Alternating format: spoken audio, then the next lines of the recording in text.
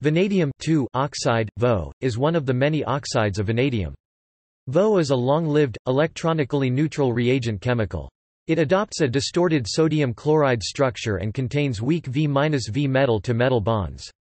As shown by band theory, VO is a conductor of electricity due to its partially filled conduction band and delocalization of electrons in the T2 grams orbitals. VO is a non-stoichiometric compound, its composition varying from VO 0.8 to VO 1.3. References